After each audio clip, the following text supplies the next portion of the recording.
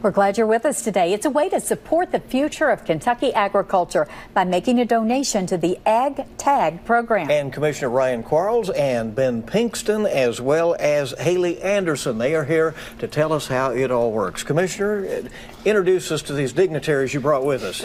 well, today I bring some important people in Kentucky agriculture. As the president of Kentucky 4-H, Haley Anderson, the president of Kentucky FFA, Ben Pinkston, and I'm going to let them do the talking.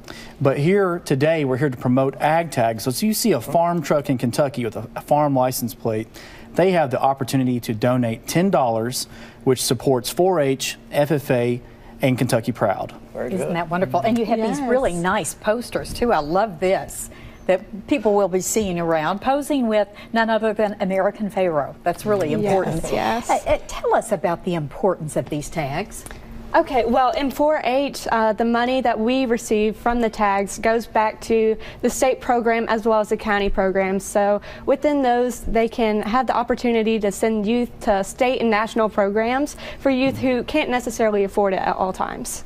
Ben, uh, you're the president of the state FFA. Yes, sir. You plan a future in agriculture? Well, I do. I do. I don't know what that's going to look like yet. Uh, you, well, maybe you'll be commissioner someday. Oh, goodness. he does Following in the footsteps. He came up that way, right? Yes, sir. Yes, sir. Well, uh, tell us uh, what your attraction is to uh, to farming.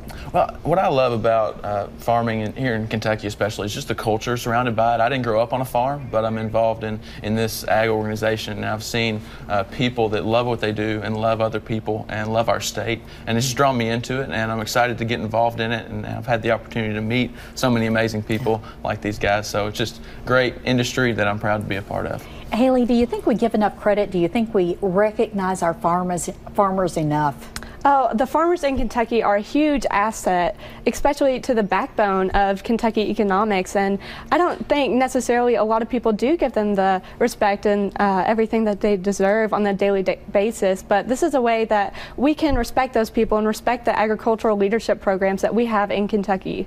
Commissioner, you've often told us that the future is bright for uh, agriculture in Kentucky. You brought some living proof of that today. That's right, and they're more than just one and done's. They're going to be here for the future of Kentucky agriculture, and I'm proud to support a program that brings in over $180,000 for each of their organizations each and every year. So with friends like this, the future is bright. Do people just tell their local clerk that they want that uh, kind of tag? So when they go in to renew their farm license plate, they'll be asked if they'd like to make a $10 voluntary donation, and we hope they do that to invest in the future of agriculture.